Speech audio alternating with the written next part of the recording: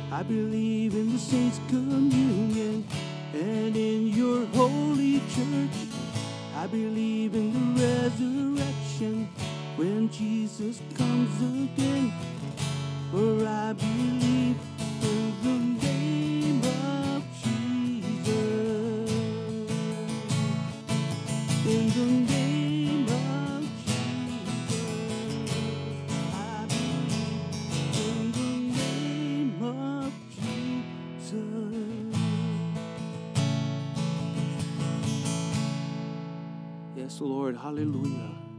We want to praise and honor our God. We thank you, Lord, for salvation. We thank you, Lord, for being with us tonight, Lord, for your word. In Jesus' name, we thank you.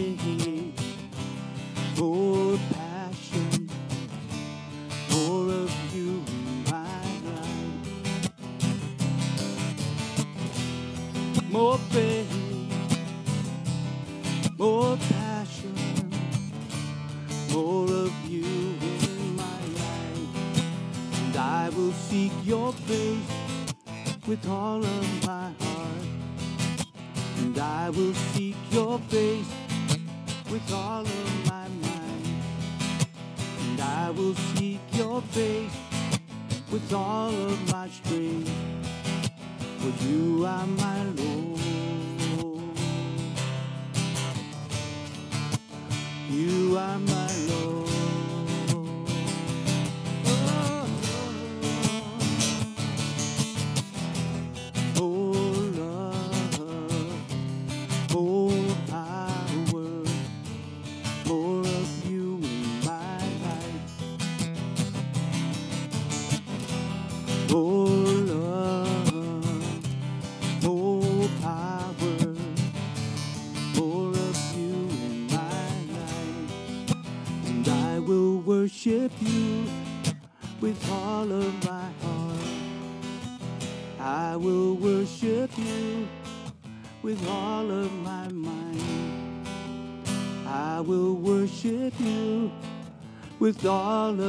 street.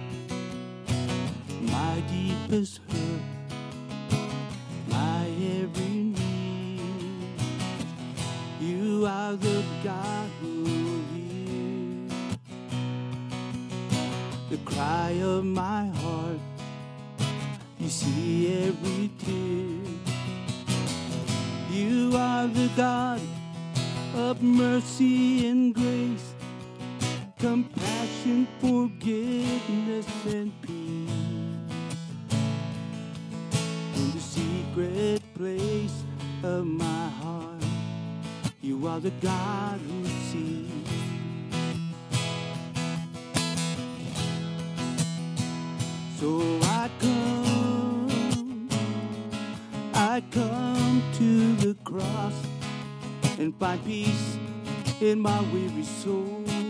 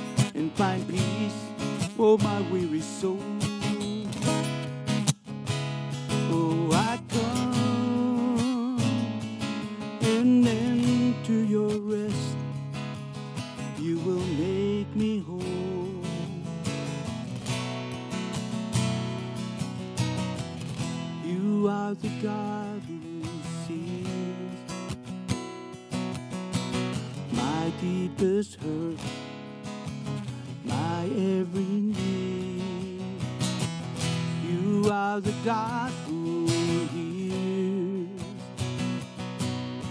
the cry of my heart. You see every tear. You are the God of mercy and grace.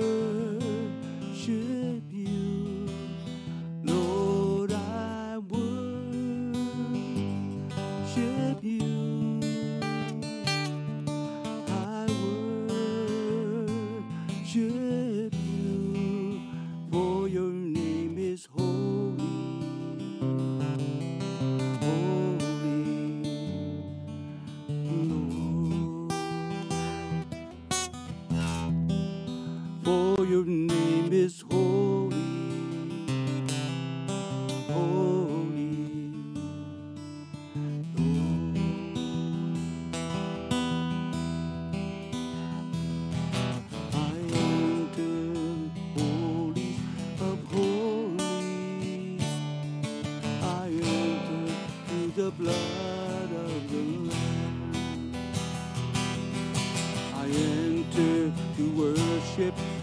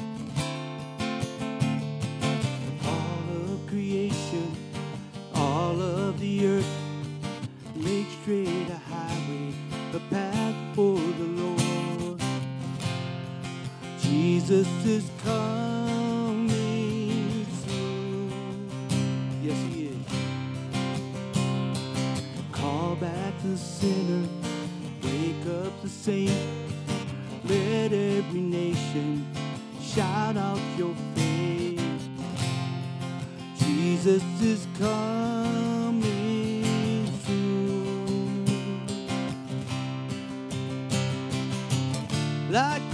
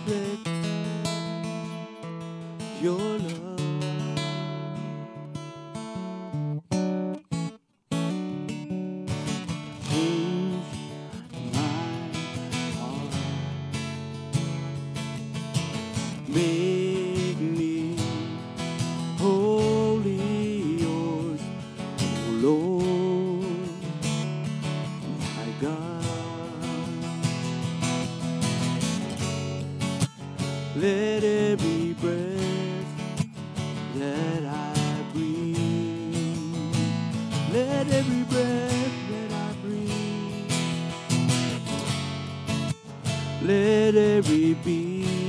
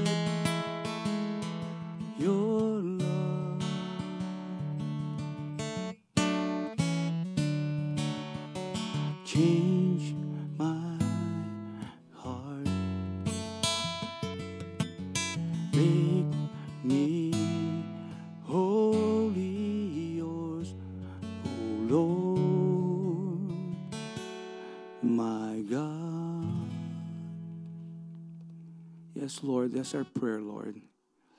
We want to be more like you, Lord. We want to hear your word. We want to hear you, Lord.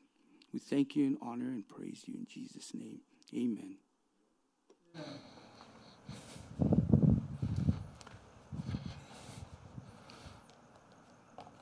Good evening, everyone. If you have your Bibles, open with me to book of Haggai. The book of Haggai, we're going to kind of do an introduction and look at chapter 1 tonight, and next week we'll look at chapter 2.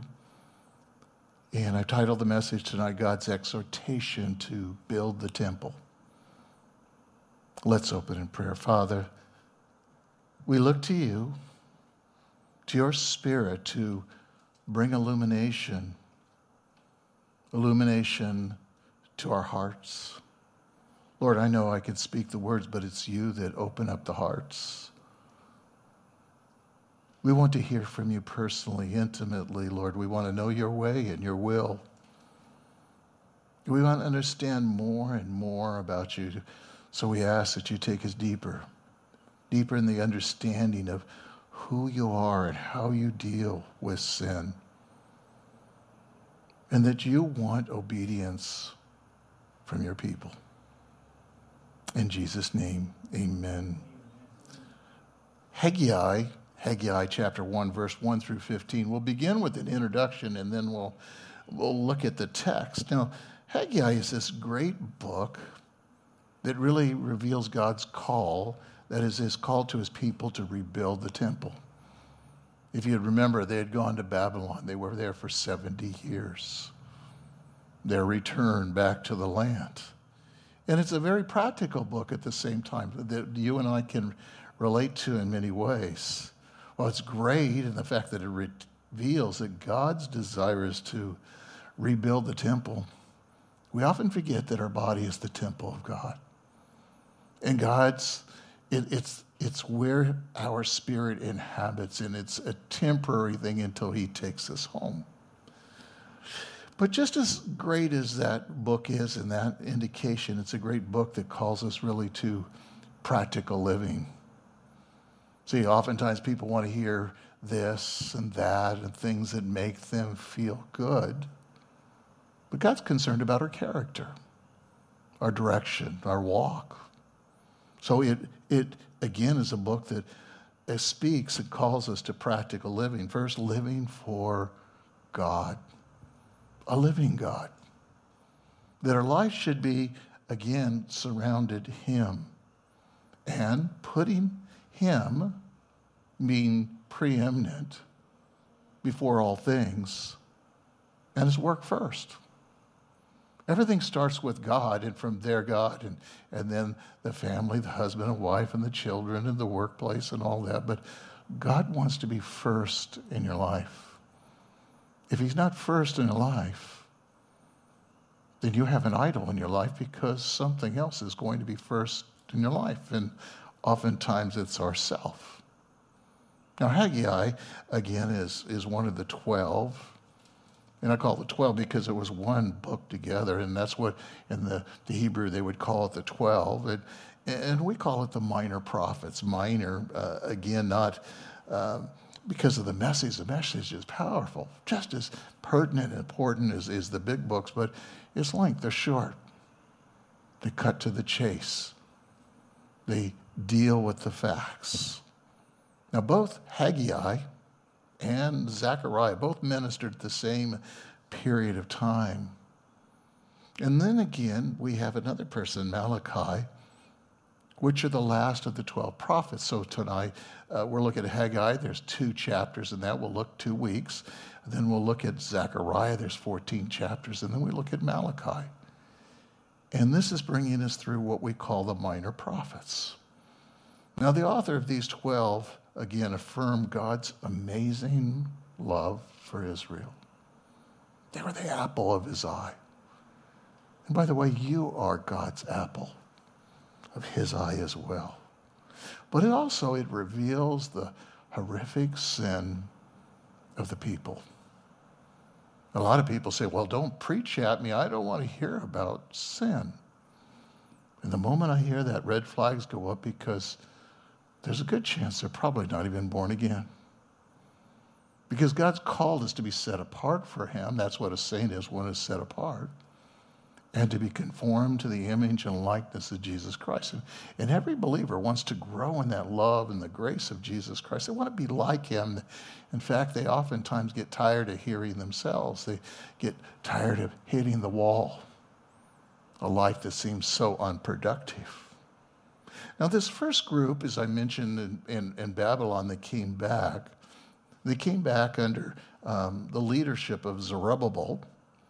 And there were 50,000 approximately that had come back, and Haggai and both Zechariah ministered. This is the group that they ministered to. Now, there's something else I want to tell you a little bit about a background in history. Um, the Persians, like the Babylonians, adopted this plan a long time ago. It's a wise policy of incorporating the captured exiles at that time of the society, of the nation, in which they deported, and that they would allow them, again, when they conquered another country, to oftentimes go back. Now, these captives were given the right to rebuild their lives. Despite being exiled to a strange and a foreign land, they were able to go back. This is how they would build the temple. And certainly, I want to call attention to the fact that God's on the throne. And God's the one that moves upon kings, whether they're unbelievers or not, and directs them and guides them. And, and everything that is happening in this world today does not surprise God. Again, they had the right to secure personal employment when they came back to the land, to hold property and build houses and start businesses. They were to start their lives all over. Now, of course, this policy strengthened the nation of Babylon when they did do that, and Persians, both economically and militarily, they, they became stronger nations. But the Persian king Cyrus went one step further. One year after the conquest of Babylon in 538, Cyrus proclaimed that he was the liberator of all people.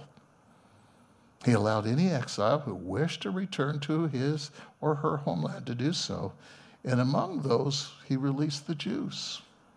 Now, it was during this time, again, they go back to the homeland. As I mentioned, there were 50, roughly 50,000 exiles that returned. And again, Cyrus appointed Zerubbabel, the governor over Judah at that point, and he was over the, these returning exiles. And it wasn't long after they had come into the land, and this is important to understand, that they started building the altar, the temple to make sacrifices to the Lord. You know, there's no forgiveness without a sacrifice. You and I understand that because Jesus Christ died upon the cross. He was that sacrificial lamb that died for you and me. So there was no covering for their sins. So this is something that they wanted to do immediately when they came back in the land. But you know how things go. It wasn't long before there was opposition, and, and soon it rose the enemies arose against the, the Israelites, and they were the surrounding tribes were coming against them. And before they knew it, they weren't even building the temple anymore. There were other problems uh, again, but the opposition was very successful in stopping that work for a number of years, uh, probably about 16 years is what it seems like. But it was later completed in four years, about 516 BC. Now, some things happened during that time when they were, again, the, the opposition came, a persecution come, it become very difficult. It wasn't what they thought. They begin to turn into themselves. They begin to forget who God really is and what God had called them and even told them to do. And I want to take you to Matthew just for a second. I know you know this verse. It says, But seek first the kingdom and his righteousness. And all these things will be added. See, in the beginning, they had started seeking the kingdom, seeking to do those things that were pleasing to God. But pretty soon they were trusting in themselves. Pretty soon they had returned to their homes that you're going to see. And as we begin to look at the book of Haggai, the author Haggai is mentioned nine times in the book. He's the author. In fact, Haggai is known only in this book, along with the book of Ezra, two times. So let me show you those two verses there.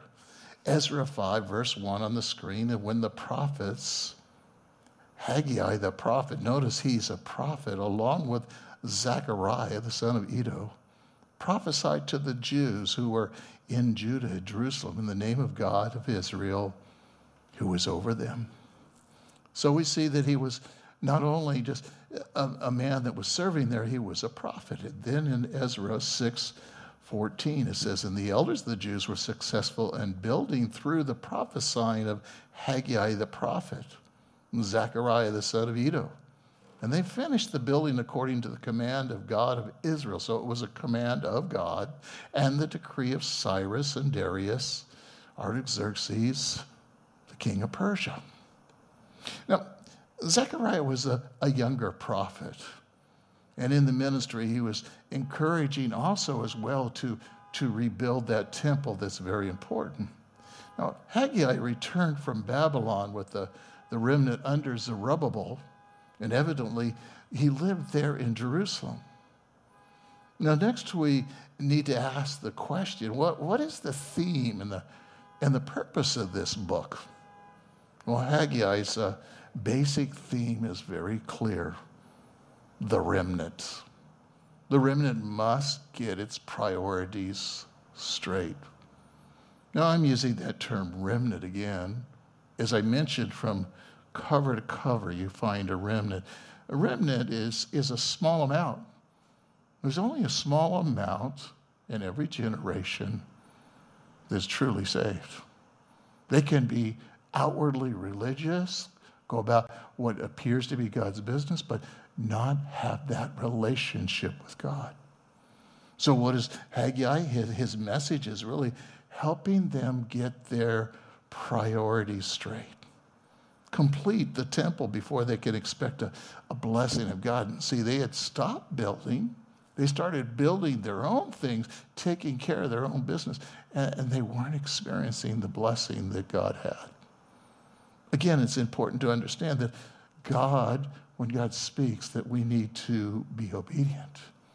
And because they weren't faithful to what God had already shown and spoken through the prophets, then they were suffering a discipline. And yet they didn't even realize it. They, they knew the suffering, but they just didn't get it. Because of the spiritual indifference, they failed to respond to, again to God attempts to get their attention by disciplining their despondency. Again, they didn't realize the hardships were a result of their selfish choices. And the Lord was disciplining. I think all of us understand selfish pursuit and choices that we make. In the end, we suffer the consequences. I recently watched a, a movie online called Mully. Uh, it's based in Africa, a man that was born in a, again, a, a, an area of poverty. One night while he was sleeping, his whole family up and moved away and left him all by himself, probably about nine years old. Become a beggar for many, many years, and then finally went to a city, and a door opened, and he began to develop a business sense, and he kept getting bigger and bigger, the company, and training people and doing all kinds of work. And he was like this millionaire person. And then one day, God stopped him. And he decided he would never work for money again. In the end, without telling you the whole story, he was feeding literally thousands and thousands and thousands of kids every day from teaching him how to weld and build bridges and to build all these things and sending him to college and everything that he, that he did. But he decided he wasn't going to work for money anymore. He decided that he was going to put God first. If you've never seen the movie, I encourage you to see it. it it's, it's a tearjerker, it's real, it's based upon real characters. You see the people in there all the trials they went through, the family when he decided he wasn't going to, to work anymore. And wow, they got comfortable and used to all these things. And even a church threw them out, the kids that he had, because some of them were prostitutes when they're young, trying to survive, and wanted nothing to do with them. But the story is an incredible story. a man who was, became very selfish. In the end, he gave everything away and he had abundance. And you could see going through this movie, God had his hand upon his life. Well, when they put their God first and they seek to do God's will, he always brings the blessing to his people a blessing of joy, prosperity. Now, I'm not saying God wants you to be rich, but God will provide every single one of your needs. Sometimes He has to let you run out of money before you're really ready to trust Him. God knows what it takes. Let me read from, again, some key verses from Haggai chapter 1, verse 7 and 8. Thus says the Lord, the Lord being Yahweh of hosts, consider your ways. So he's speaking through the prophet. Consider your ways. Consider what you're doing Go up to the mountains and bring wood and rebuild the temple that I may be pleased with it and be glorified, says the Lord. And I'll explain the details on that later. And, and the Lord just had to stop. Consider your ways. And I think each one of us need to stop and consider what is our priority in our life? Is God preeminent before all things, before our relationships, before our job, before our family? Is He? God knows. And sometimes we can exalt things and let things be more important, and it grieves the very heart of God. Let me read now from Haggai chapter 2. We'll see this next week in verses 6 through 9. For thus says the Lord of hosts, once more in a little while I'm going to shake the heavens and the earth and the sea also and the dry land, and I'll shake all the nations and they will come with the wealth of all the nations, and I will fill the house with glory, says the Lord of hosts. The silver is mine, the gold is mine, declares the Lord of hosts. And the latter glory of the house will be greater than the former, says the Lord of hosts. And in this place I will give peace, declares the Lord God. A lot of things are going to go around this. You're going to see next week and see when we're looking at Haggai chapter 2, verses 6 9. It reminds us that this is the key chapter. The key chapter that he wants us to see. Now, when we look again at a survey of Haggai, we notice uh, it's second only to Obadiah, first of all, because of its briefness in the Old Testament books. Obadiah, one book, one chapter, and Haggai has too. Why Haggai's message is it's brief, but it's to the point. It's strong. You might even say in your face. And never before, I should say, did anyone ever react to the prophet's message as they did to Haggai's message? It was a work of God. See, there's four distinct messages four sermons, if you want to call it, that accomplishes this intended outcome, beginning with the completion of the, the latter temple. We find that in chapter one. That's what we're going to look at tonight. And then next week, we'll look at three messages. First, to be next the glory of the, the latter temple. And that's in verses 1 through 9 in chapter 2. And then in verses 10 to 19, the present blessings and obedience Simply being obedient to God brings blessings. And then finally, in verses 20 and 23, uh, there's this future blessings, the promise, just as you and I hold on to a promise. Well, this is really the outline to the book of Haggai, how it's broken down.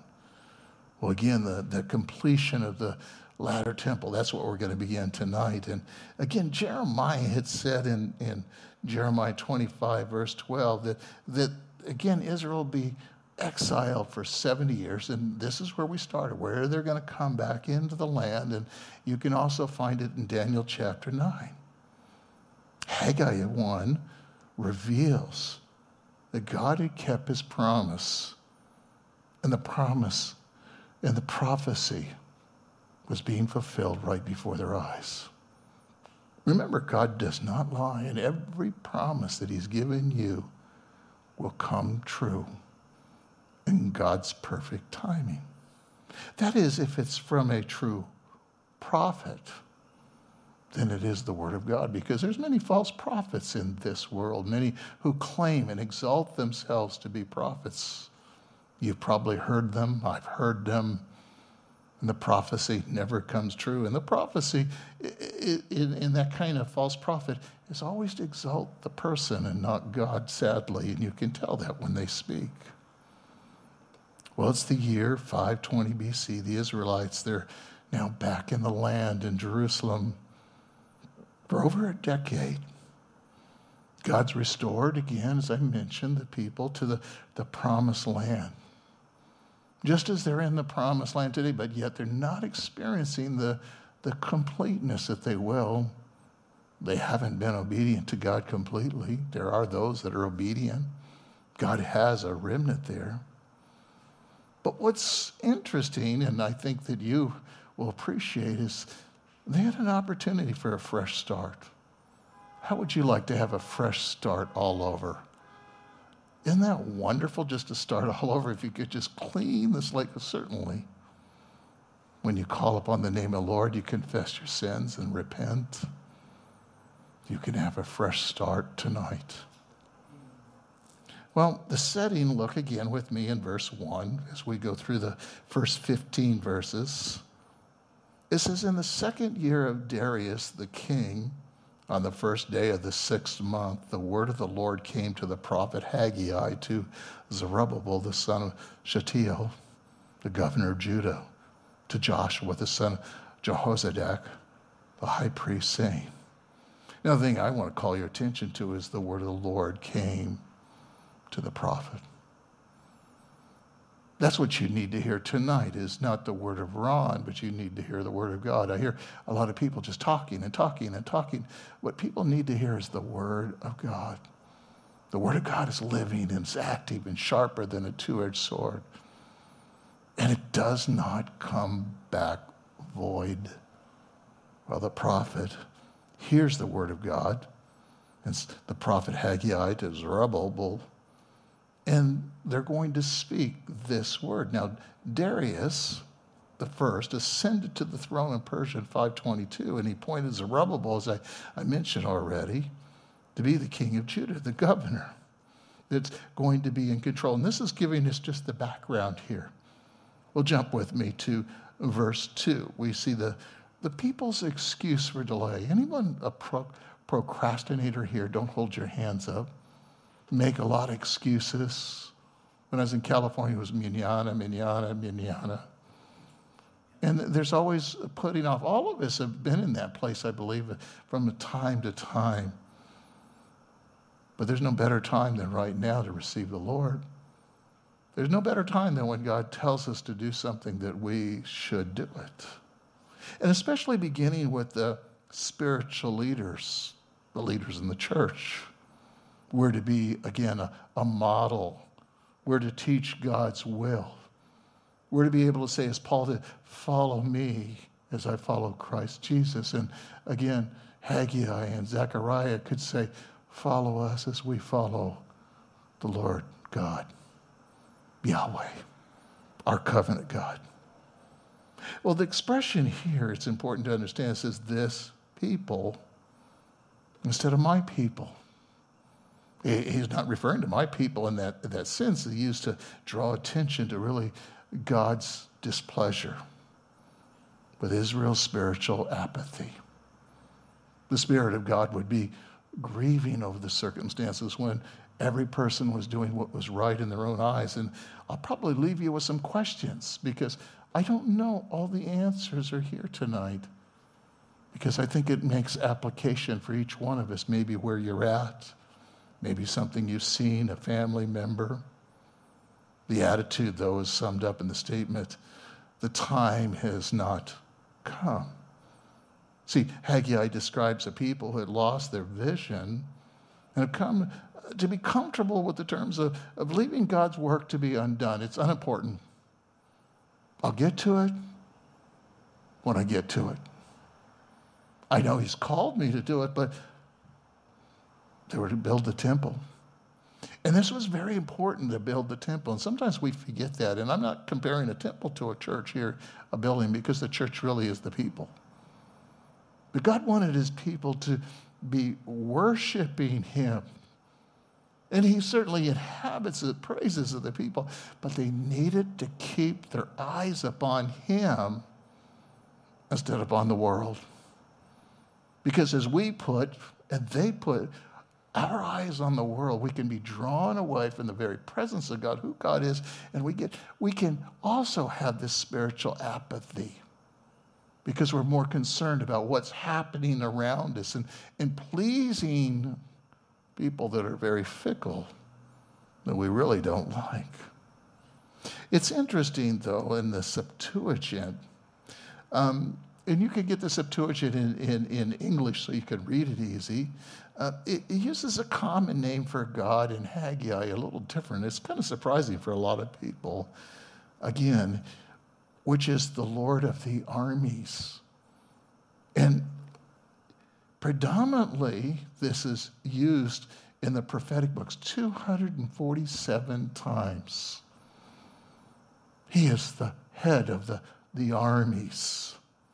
Frequently used in Haggai 14 times, Zechariah 53 times, Malachi 24 times, and a total of 300 times in the Old Testament.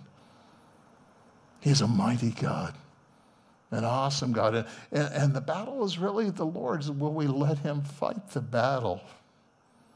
The title views God as a, a divine warrior who is in charge of all the armies of heaven. He is all powerful God. Sometimes we forget that God is all powerful. The things that are impossible for you and me are possible for God. And we begin to take things into our own hands. But He directs the, the fiery forces of the armies of heaven. And you could find that in 2 Kings chapter 6, verses 16 and 17. Make a note and look at it later. Why? Because He's sovereign. He's in control of all things. He knows all things, control of all things. He knows the future. He can even help you and me, just as he did the people of Jerusalem to rebuild the temple when they were discouraged. I imagine every one of us experienced discouragement from time to time. We need encouragement. And of, of all the people in this world, the church should be encouragers of one another not bringing discouragement. You want discouragement? Turn on the TV, turn on the news. You'll find discouragement. We need to cast our cares upon Him who cares for us. Now, again, this, this, again, I think perhaps they maybe had forgotten who He was.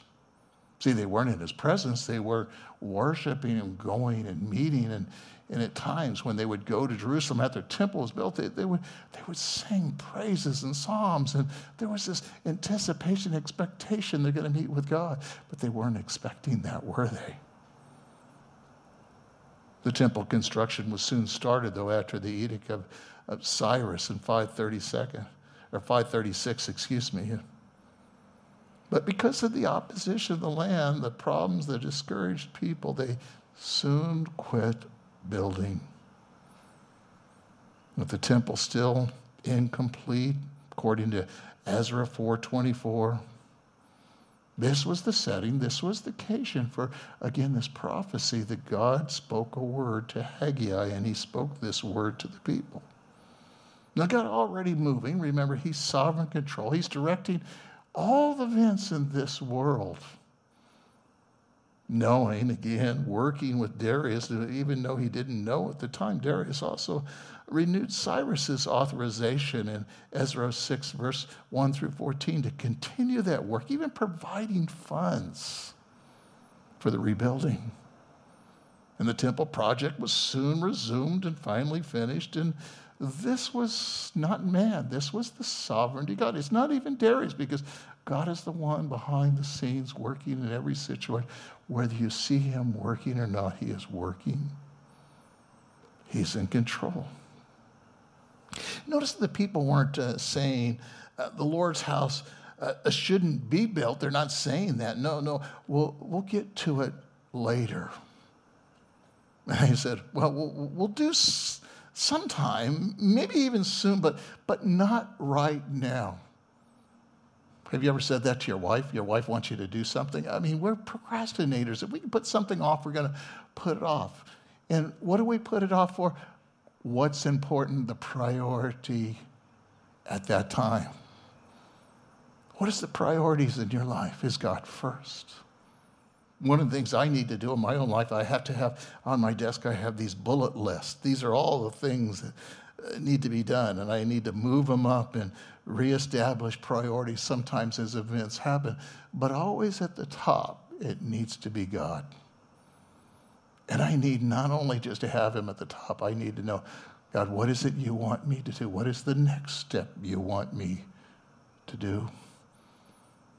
Every time I don't do that, and there's been times I haven't done that, I always kind of like hit the wall. I experience something that I don't want to experience, and, and I have to confess and I have to repent and get back online. And you probably understand exactly what I'm saying.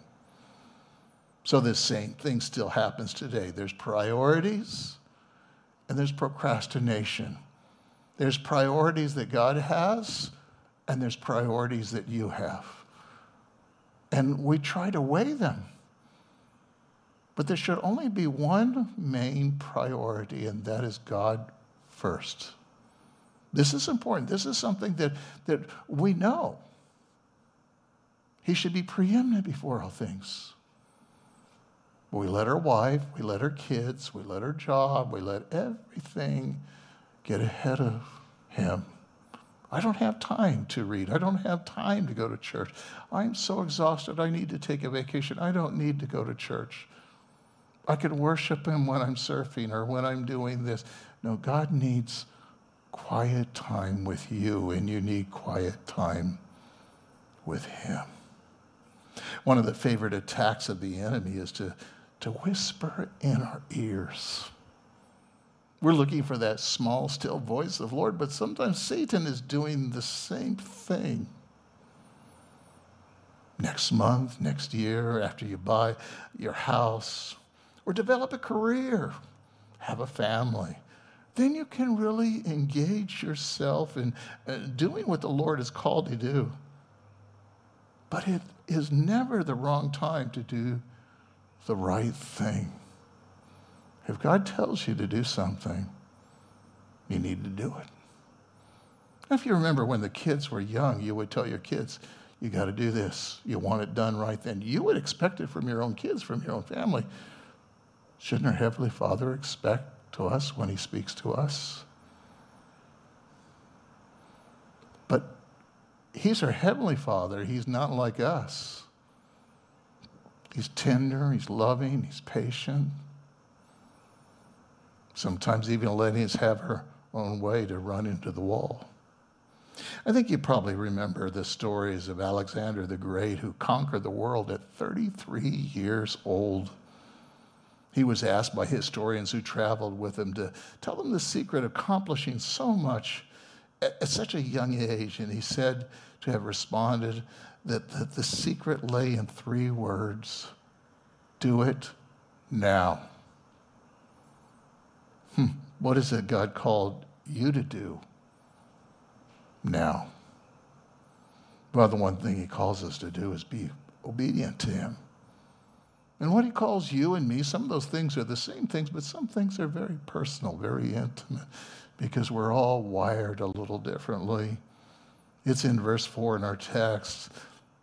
Is it time for you yourselves to dwell in paneled houses while the house, why this house lies desolate? Now, the, the paneled houses were always a sign of luxury, royal dwellings.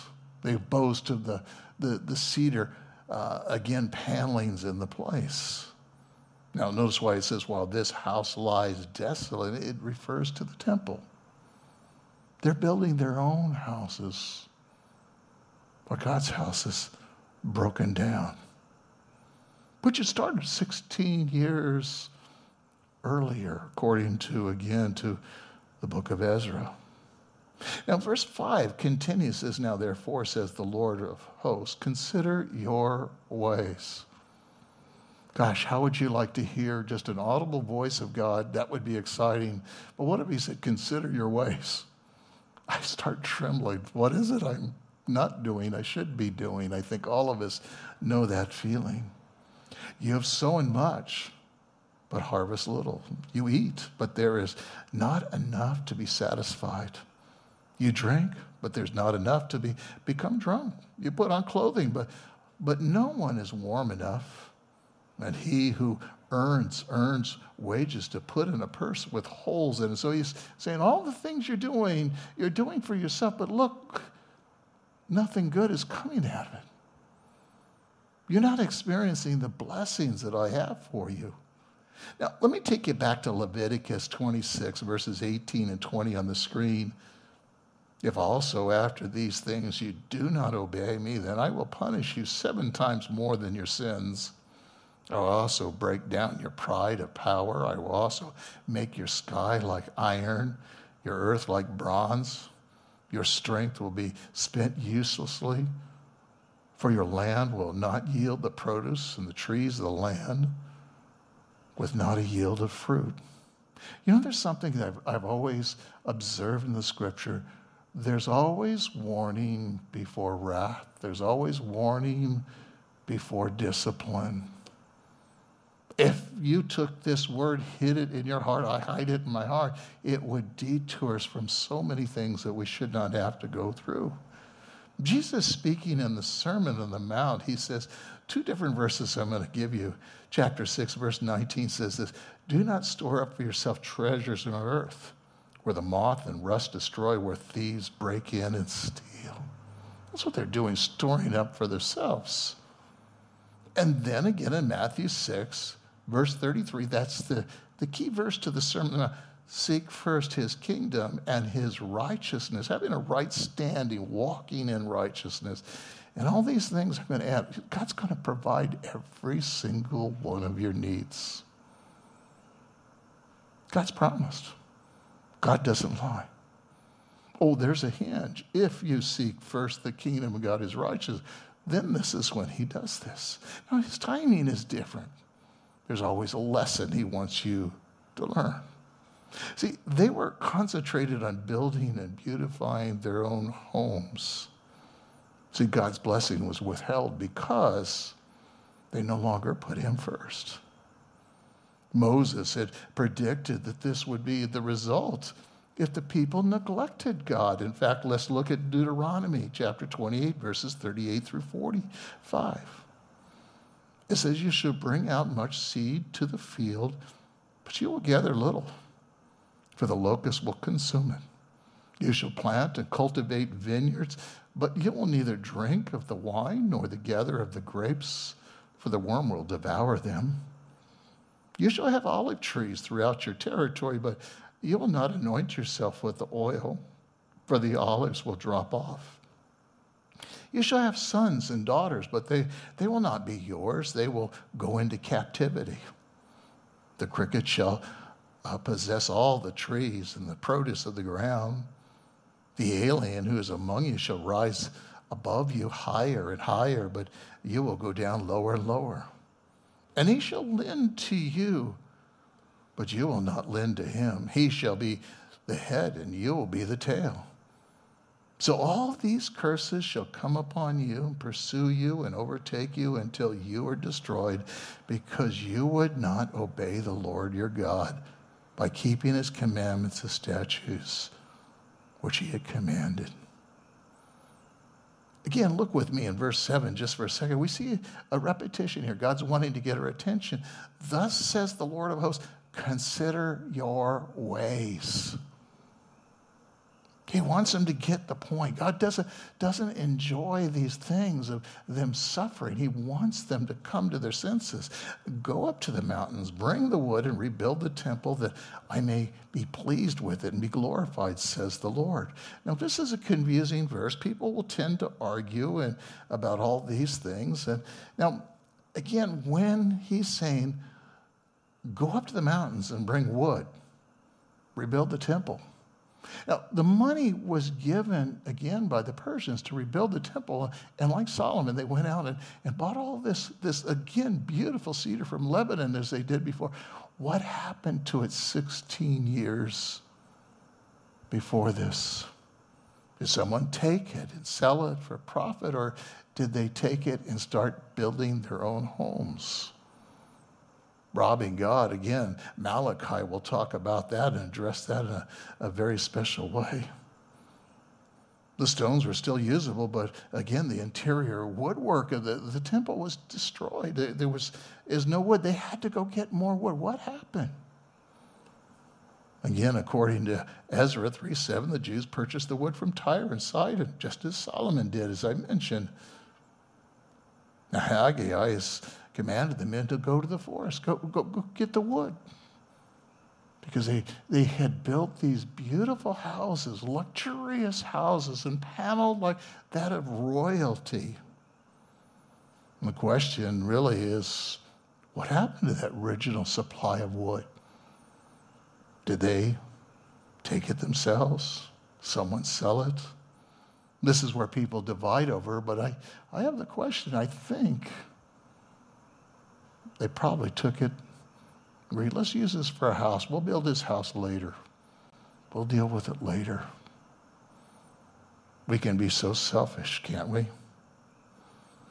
We don't know for sure, but we sure wonder what happened to the wood. For their paneled houses, when no wood was available, for God's house was in their own house. Look with me in verse 9, though, of our text. You look for much, but behold, it comes little. And when you bring it home, I blow it away. Why? declares the Lord of hosts. Because of my house, which lies desolate, while each one of you runs to his own home. See, God's desire is that his people would build his house. He, he, he wanted them to have the priority of coming together, uh, worshiping together, having community together this was important to God, but it wasn't important to them. You know, we, we call ourselves the church, and some say it's, it's coming to church. No, we are the church. And what does the church do? It, it congregates together, it worships together, it fellowships together, it, it enables and helps people when they need help together. God wanted to experience the same thing in the Old Testament. And all this was to surround God. God is the one that brings us all together. Now, if you remember when they were camping in the wilderness, the tabernacle was in the center, and there were three tribes on one side, three tribes on this side, three and three. They say if you calculate it perfectly, that from heaven you would see a cross there. But the thing that's important is all the tents faced the tabernacle. Every day they got up, went out their tent, they looked to the tabernacle to see again if there's a pillar of fire the smoke. What is God doing? Looking for the moving of God. And that's where we need to begin every day. God wanted to have a central place of worship. Again, whatever one does, God should always be pleased with it and glorify him. Let me take you to the New Testament just for a moment. In John 8 29 says this, and he who sent me is with me, and he has not left me alone, for I always do the things that are pleasing to him, Jesus speaking. Do we always do the things that's pleasing to the Lord? Well, hopefully, more and more we're doing those things. And then John, the Gospel, John chapter 12, verses 27 and 28. Now my soul has become troubled. What shall I say? Father, save me from this hour. For this purpose I came to this hour. Father, glorify your name. And then a voice came from heaven I have glorified it and will glorify it again. God wants to exalt you. If you lower yourself, humble yourself, God will exalt you and lift you up.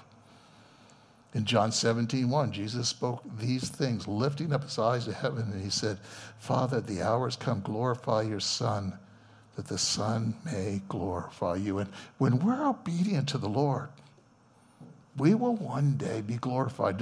When you read the book of Romans, chapter 8, that you're saved, you're, you're justified, sanctified, even goes on to say again, glorified. God's looking outside eternity. He will finish that work, and you and I are his workmanship. May we just go that easy way, be obedient, and avoid the bumpy roads. Well, again, in that verse, it says, runs to his own house. This points to the difference in priorities that God had and the preoccupation with comfort. I think all of us need to search our heart. We all like comfort. My house is my kingdom, in a sense, it's my place of escape. And that's not wrong, but it is if I put it ahead of God. It's a place that I can find a quiet time, turn off the phone, and just sit there before God. Again, the people were ignoring the central spiritual concern of their lives. They needed a place to come together, together to meet with Him, a place that He would inhabit.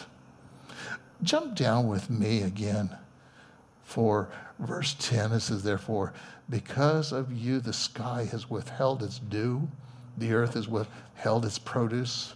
And I've called for a drought upon the land, on the mountains, on the grain, and on the wa- new wine and the oil, and what the grounds of produce, and on the men and the cattle, and all the labor of the hands. And why was all of this? Again, because their priorities were more important, their occupation, their family, than God's work or their jobs or homes, vacations, leisure, and what's important to God. What's the most important thing to you in this life? Most people believe that is Christians believing Christians believe that he's coming soon. Well, is the priority to be ready when he comes? Do you hear those words, good and faithful servant? If things aren't going the way they are, it's, it's, it's, it's time to, to take a, a check and search your heart and say, God, search my heart and see if there's any wicked way. Now, again, as it's speaking about this, this drought and all this, so let, us explain what that means. First of all, it was an arid climate in this region. And when he talks about the dew, again in verse 10, the dew was very important in August and, and, and for the produce because it kind of kept the things from ripening too quickly so they could get to the harvest in time and help prevent the, the grain from wilting in the heat. The grain, the grapes, the olives were Israel's major crops. The people depended upon it for security while neglecting to worship God. What would happen if they just put God first? Things would certainly be different. You probably know in your own life before you come to be a believer, life was quite different. But as you begin putting Him first more and more in your life, things began to be balanced in your life. Look with me in verse 12. It says, Then Zerubbabel, again in Joshua the son Jehozadak, the high priest, and all the remnant of the people obeyed the voice of the Lord and their God and the words of Haggai the prophet as the Lord their God, and they sent him. And the people showed reverence for the Lord. I like that word, reverence. There's something that the church lacks is a reverence. When you come into his presence, just like Moses, he was standing on holy ground. Sometimes we're more aware of people being around us than the fact that God has chosen to inhabit the praises of his people. Doesn't matter whether it's two or three or 20 or 50 or 500, he's there. Again, Haggai's message is it's simple. It's to the point.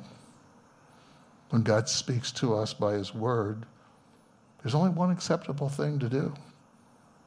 That's obedience. To act in obedience.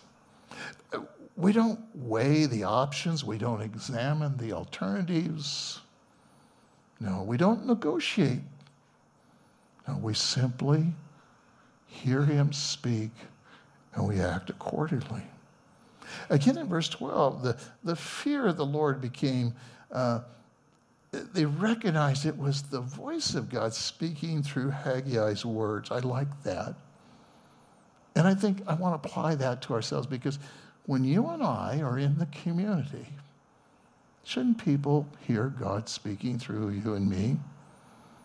He'll give us a word of knowledge. He'll give us a word of wisdom if we're making him first and a priority. And if we're speaking to people we want to see come into the kingdom or people hurting, he'll give us the comforting, encouraging words. And the people will know it's God speaking to them. They don't need to hear you or me. They need to hear God. When they recognized this voice of God and, and the words that Haggai spoke, they acted in obedience. They did it promptly. And they just moved forward. They got back to what they were supposed to do, or they returned. And rarely did a prophet's message ever have the fact that this quick response did from Haggai's message.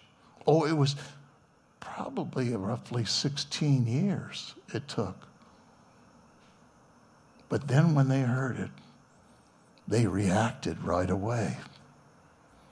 God had stirred Zerubbabel, Joshua, political, spiritual leaders of the people, as, as well as all the people, to, to work again on the house of the Lord. Sometimes He just has to stir us up. Isn't that kind of good? I need to be stirred once in a while. How can God stir? God uses sometimes different people in life to stir us up. How you doing, Juan? How you doing, Ed? How you doing, each person? How can I encourage? How can I pray for you? Sharing what God's showing you in the scripture that you're excited about, and that will stir people up. Let's go tonight to the prayer meeting. Let's do this together. Sometimes we just need that encouragement, that exhortation. Well, God stirred him up, and then the Lord blessed him again. Verse 13 Haggai, the messenger of the Lord, spoke by the commission of the Lord to the people, saying, I am with you, declares the Lord. What precious words. The, the Lord is with you. You know, and I know the Lord will never leave you or forsake you, but, but it's when you put Him first that you become so aware that He is with you. It is an encouragement. It's encouragement to press on even when it doesn't make sense. Lord's here. The battle is the Lord's. I'm kept by His power. And whatever God allows, it's part of His plan. So as a result of their obedience, eh, God's now fulfilling the, the promise that he said he would do. But these are gracious words, important words, and we should all be encouragers. God's presence enabled them to guarantee the success because if God's with us, we can do anything. We can do anything that he calls us to do because he will enable us. Look with me, the final verses, verses 14 and 15. It says this So the Lord stirred up the spirit of Zerubbabel, the son of Shealtiel, the governor of Judah, the spirit of Joshua, the son of Jehozadak, the high priest, and the spirit of all the remnant of the people. And they came and they worked in the house of the Lord of hosts, their God. And on the 24th day of the sixth month, in the second year Darius the king. So they finished the work. They made a wrong turn for 16 years. God was patient. God was long suffering. God raised a, a man up, Haggai, and he was going to speak through him to the people. Well, God can speak through anyone, anyone here tonight, anyone place you go. In the Old Testament, if you remember, he spoke through a donkey. We just need to listen for the voice of the Lord. And when he speaks, be obedient. Father, thank you tonight for your word. Thank you that it, challenges us and at the same time encourages us. Lord, we want to be right in the middle of your will. We want to be obedient to you. We want to hear those words, good and faithful servant.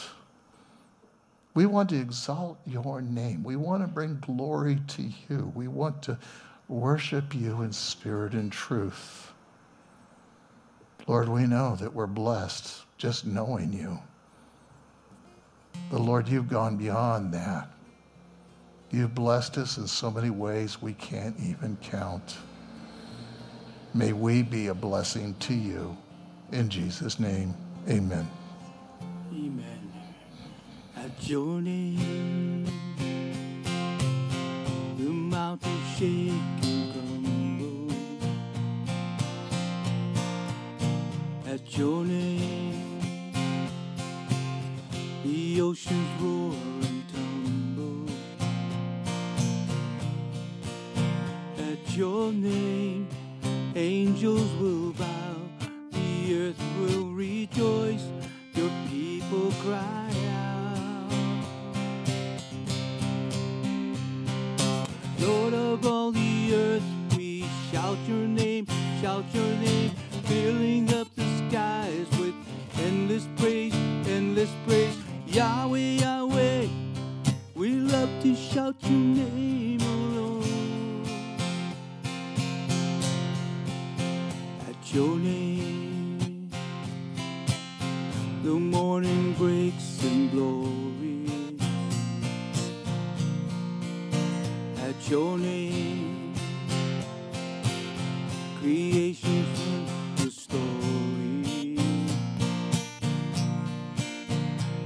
your name, angels will bow, the earth will rejoice, your people cry out. Lord of all the earth, we shout your name, shout your name, filling up the skies with endless praise, endless praise. Yahweh, Yahweh, we love to shout your name,